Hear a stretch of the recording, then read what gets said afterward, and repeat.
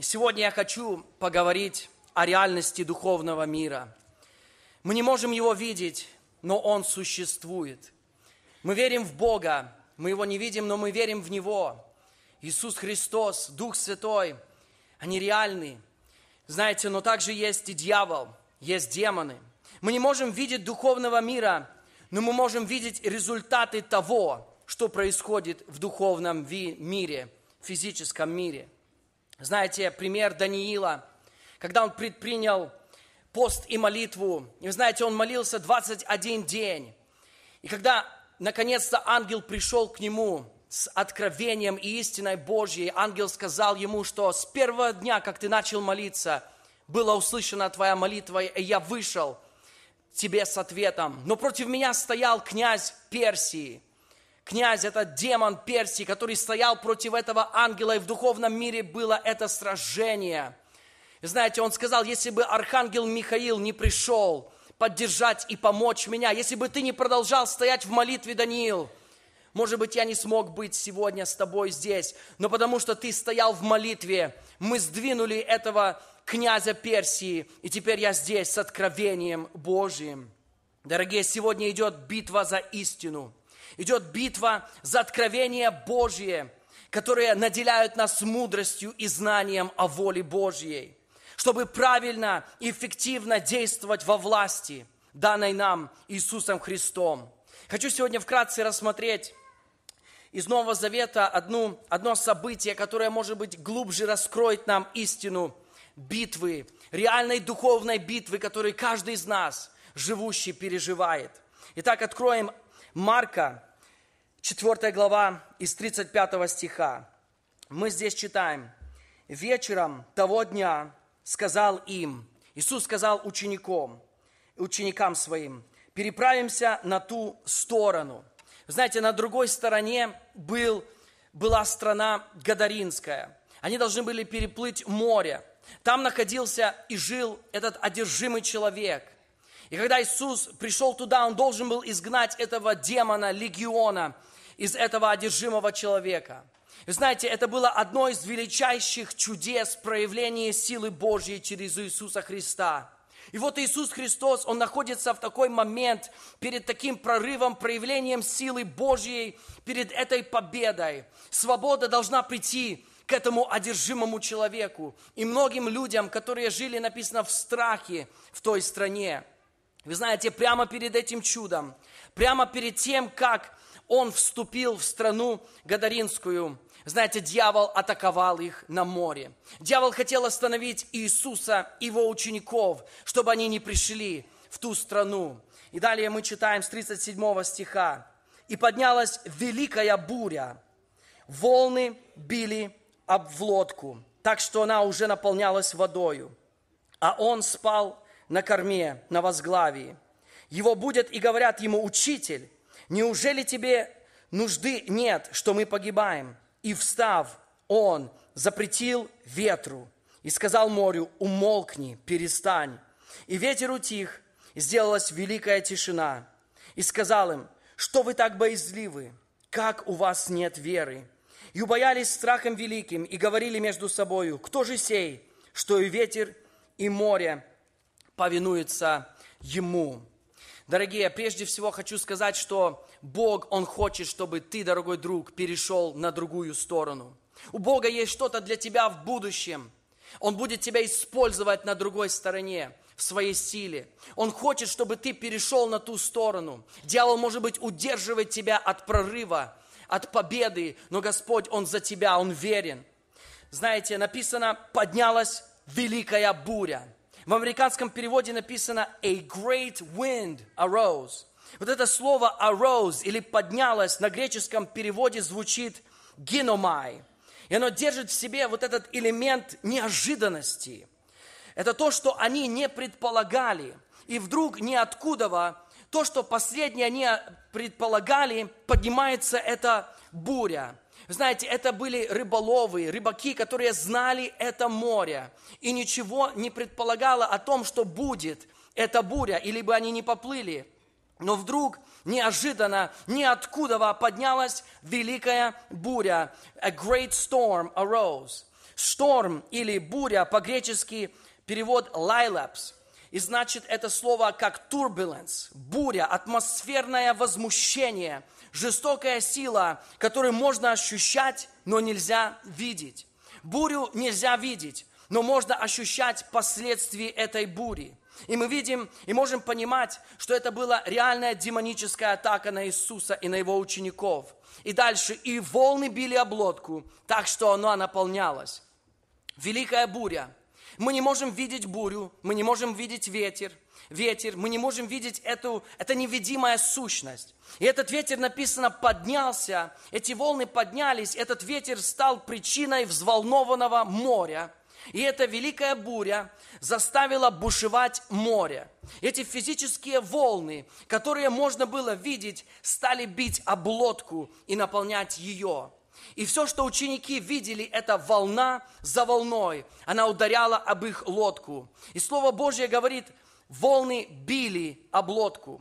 По-гречески это слово «эпибало». Слово «эпи» – через и «бало» – кидать. Если мы соединим эти слова вместе, значит поднимать и кидать. Вы знаете, в греческом переводе э, слово «эпибало», оно не используется для объяснения природы. Это слово используется для объяснения существа или человека. Там реально находилась невидимая сущность, эпибало, которая бросала эту лодку с одной стороны в другую. И ученики пришли в тревогу, и все, что это происходило, Иисус в это время, Он спал в лодке. Сын Божий, Он спал в этой лодке. Дорогие, мы явно видим и можем понимать, что это было непростая, обычное, взволнованное море. Это была реальная демоническая атака дьявола, чтобы остановить учеников Иисуса Христа, чтобы он не пришел в ту страну, чтобы там человек пережил свободу. Знаете, но Иисус встал, и Он запретил вначале ветру, и море умолкло. Знаете, ветер, ветра, бури, они вызывают волны. Духовные сущности, они вызывают физические проблемы. Невидимые сущности производят видимые, заметные, чувствительные компликации. Мы не видим дьявола, но мы видим последствия. Мы видим и чувствуем волнение, хаос, который он хочет, может быть, сделать в нашей семье. Волнение или возмущение, которое он может, хочет сделать на вашей работе или вашем бизнесе. Может быть, в вашем здоровье или в вашем служении. Мы не видим ветер, но мы видим волны. Для примера, хочу сказать, есть волны зависимости, произведенные ветрами рабства. There are waves of addiction that are caused by the wind of bondage. Иоанна 8.34 написано, Иисус отвечал им, истинно, истинно говорю вам, всякий делающий грех есть раб греха. Это говорит нам, что за какой-то любой зависимостью есть духовное существо. И это существо мы можем называть как ветер. Мы, мы, мы не видим ветер, но мы видим эффекты этого ветра, и они очень реальные. Человек, который сегодня зависит от наркотиков – который зависит от алкоголя, который, может быть, зависит от каких-то азартных игр, порнография или зависимость к другим разрушительным поведениям. И снаружи, вы знаете, эти, эти волны, они бьют эту лодку, но в реальности эти волны, они сформулированы из-за ветра. Или, или причина этих волн – это ветер. Причина этих волн – это духовные существа, это демонические силы – Значит, что за алкоголью, за порнографией, за азартными играми, за наркотиками стоят реальные духовные демонические силы. И вы знаете, наша цель не бороться с волнами, а остановить ветер, запретить ветрам и волны успокоиться. Знаете, также есть волна болезни, причина которой является ветер или дух немощи. В Луки 13 глава 11 стих написано, там была женщина 18 лет, имевшая духа немощи. И она была скорчена и не могла выпрямиться. Знаете, эта болезнь, которую имела эта женщина, это было как волна, которую люди могли видеть. Последствия этой болезни, вы знаете, физически она была сгорблена. И это также негативно отображалось на ее работу, она не могла работать, спонсировать свою семью. И Слово Божье говорит, что за этой волной, которая била ее лодку, был ветер, был дух немощи, которого нельзя было видеть. Можно было видеть только последствия, этот горб, который был у этой женщины. Вы знаете, что делает Иисус? Он сразу же вначале провозгласил освобождение над ее телом, освобождение от этого недуга. Иисус изгоняет этого демона, дьявола, который Иисус сказал, вот уже 18 лет эту дочь Авраамова скручивал дьявол. Не надлежало ли мне ее освободить? Вы знаете, когда он приказал ветру остановиться, утихнуть, волны успокоились. Ее тело сразу же выпрямилось, и она стала прямой. Иногда то, что стоит за повторяющимися физическими, хроническими болезнями, это дух немощи, который давит и продвигает программу дьявола в жизни человека. И вот почему написано в Деянии 10.38, Иисус пришел исцелить всех, обладаемых дьяволом. Иисус пришел также когда-то навестить тещу Петра, и написано, он запретил горячки. Он не исцелил горячку, он изгнал горячку. Это то, что говорит мне, что ветра производят волны. Злые духовные силы производят физические, видимые проблемы. Есть еще одна волна голода, нищеты, бедноты. Второе царство 21.1 мы читаем. Был голод на земле в дни Давида, Три года, год за годом. И вопросил Давид Господа, и сказал Господь, это ради Саула и кровожадного дома его, за то, что он умертвил гаванитян. Иисус Навин некогда заключил союз с гаванитянами, что они не убьют их. Но Саул, он разрушил эту клятву, и это дало доступу дьяволу вмешаться в израильский народ и делать зло, наводить голод, нищету. Вы знаете, физическая проблема был голод. Вот три года фермы уничтожены. Экономика опускается, люди теряют работу. И Давид пошел к Господу. Первый год, можно сказать, это просто обстоятельства. Второй год, ну нужно уже быть, быть аккуратным, но третий раз, когда это со мной происходит, может быть, нужно задать пару вопросов и просить у Господа, что это происходит со мной, что эти за волны, которые бьют меня ненормально, потому что они были сделаны ветром. Были духовные силы, духовные существа, которые стали причиной финансовой потери, голода во время Давида. Вы знаете, Давид, он решил эту проблему. Он решил проблему с ветром, и волны успокоились. Пришел, пришел опять плодовитность, пришло опять финансовое благословение. Есть много различных волн и ветров.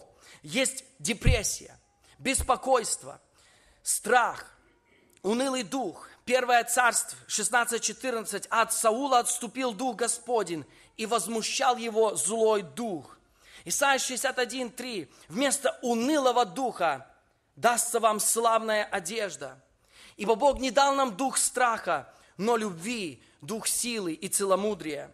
Вы знаете, дорогой друг, если ты сегодня переживаешь, может быть, депрессию, уныние, и это уже третий, четвертый год повторяется в твоей жизни, это может быть не просто обстоятельства, а может быть, это ветер, который бьет твою лодку волнами. Некоторые вещи, дорогие братья и сестры, нельзя просто объяснить. Но мы понимаем, что есть ветер, который мы не можем видеть, который производит волны которые мы можем видеть. И очень часто этот ветер, он возбуждает эти духовные сущности. Он поднимает вот эти волны обстоятельства, финансовых сложностей, проблемы со здоровьем, проблемы между отношениями с людьми, семейные неурядицы – проблемы на работе, эти волны, они становятся иногда такие жестокие. Они бьют в твою лодку, они бьют в твой разум, они бьют по карману, они бьют по твоим отношениям с людьми. И оно, знаете, оно больно, оно тяжело, и ты страдаешь. И не только это, они хотят еще наполнить твою лодку депрессией, отчаянием, проигрышем. Вы знаете, иногда мне приходится убирать паутину в моем гараже, на улице вокруг моего дома – но вы знаете, очень часто я не нахожу там паука, я вижу только паутину. Паутина, вы знаете, это подтверждение того, что пауки существуют, несмотря на то, что я их не вижу. Возмущенные волны, может быть, в твоей жизни, которые бьют твою лодку, это подтверждение того, что есть ветер, которая причина всему этому. И твоя битва сегодня, дорогой друг, не с волнами. Наша битва, она сегодня с ветром. Битва с духовным, невидимыми существами, демоническими силами. Твоя битва, дорогой друг, сегодня не с твоим мужем или женою, а с духовными силами. Твоя жена, она сегодня не змея, Твой муж змей, он твой муж. Это будет через этого человека меня сейчас. Я уходил в сторонку, я взывал Господу, я противостоял тому злому духу, который действовал сейчас через человека. Я видел чудеса, я заходил в комнату, у нас начиналось хорошее общение. Мы вместе молились с этим пациентом, мы вместе плакали. Он покаяние совершал. Господь Бог наш живой. Он хочет сегодня, чтобы мы понимали, что есть реальный духовный мир. Вы знаете, может быть, кто-то сегодня молится за спасение вашего ребенка и, и просит Господа, чтобы он спас, восстановил. Я хочу сказать, что Бог первый и больше, чем мы, хочет спасения вашего сына или вашего дочери. Он первый хочет, но за спасением стоит тот ветер, который не дает человеку прийти к Богу. И сегодня мы не только должны просить у Господа, но проявлять власть и приказывать этому ветру, приказывать тому злому духу, отойди от моего ребенка во имя Иисуса Христа. Он принадлежит Господу, я вымаливаю его. Господь сегодня учит нас использовать власть, которую мы имеем от Него. Иакова 4,7 мы читаем, «Итак, покоритесь Богу, противостаньте дьяволу, и убежит от вас». В другом переводе «убежит в ужасе». Слово вот это противостаньте, оно означает активную борьбу против него. Видите, противостать дьяволу, дорогие, это наша ответственность. Это даже не Божья ответственность противостать дьяволу ради нас. Иисус уже все сделал на кресте, чтобы мы имели власть противостать нашему врагу. Это моя и ваша ответственность противостать дьяволу. Это значит активно сражаться против него.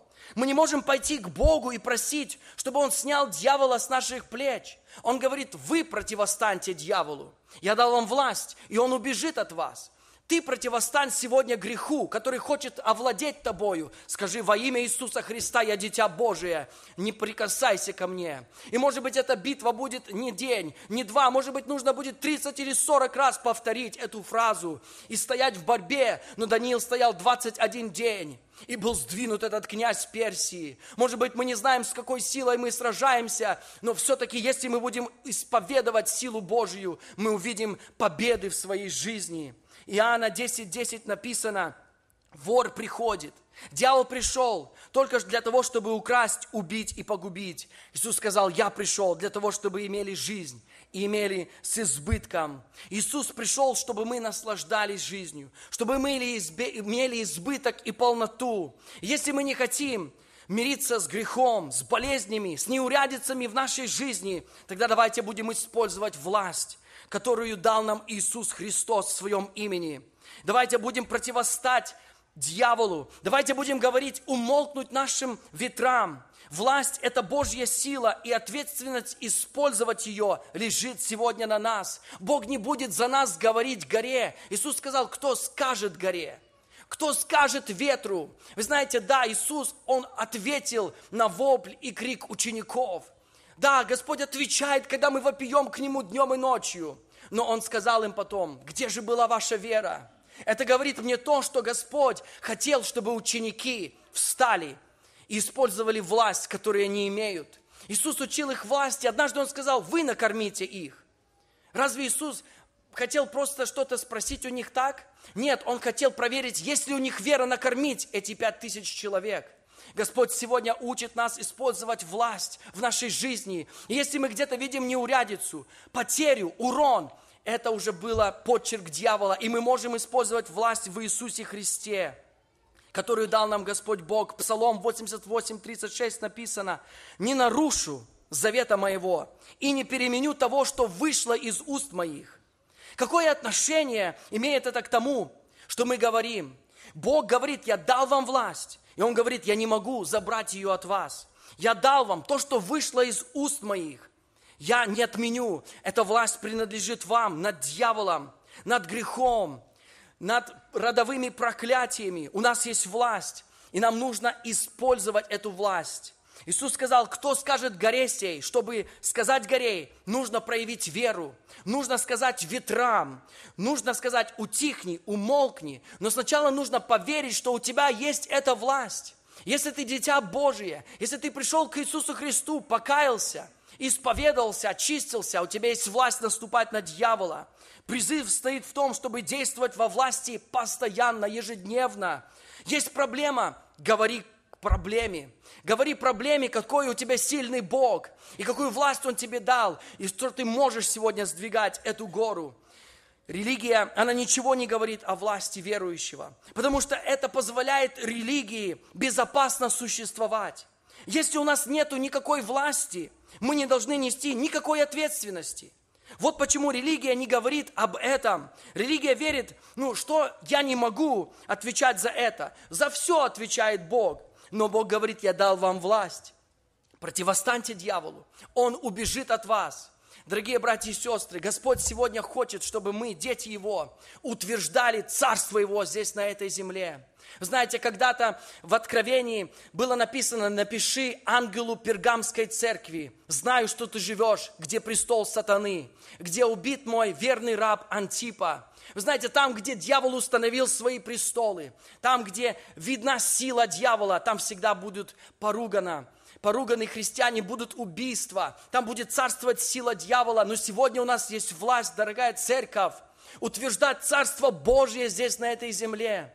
Да придет Царствие Твое, да будет воля Твоя как на небе, так будет, пусть она и на земле.